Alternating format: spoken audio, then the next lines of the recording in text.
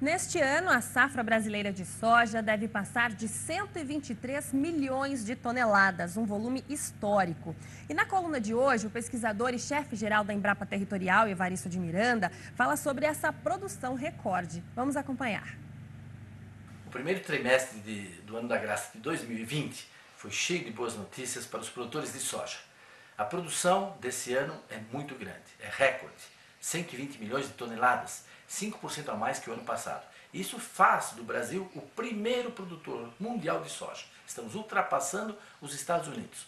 Não era fácil de chegar nessa posição, porque a soja é de país frio, de país temperado. É uma variedade que vem lá da China, do Japão, pois a pesquisa agropecuária brasileira desenvolveu variedades novas de soja, tropicalizadas ao longo de 30 anos ou mais, que permitiram plantar soja em todo o país. A outra boa notícia é que a mistura de biocombustível não é, no combustível diesel ampliou-se de 11% para 12%, do B11 para o B12. Isso aumenta a demanda por óleo de soja, talvez 5 milhões de toneladas esse ano para biocombustível, mas não vai faltar óleo de soja né, para as frituras e para as saladas.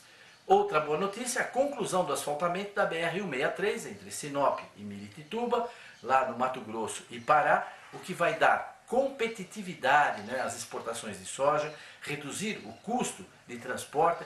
Isso é importante porque o natural é que a exportação de soja do Brasil saia pelos portos do Arco Norte, lá por cima. Apenas 20% estava saindo por ali.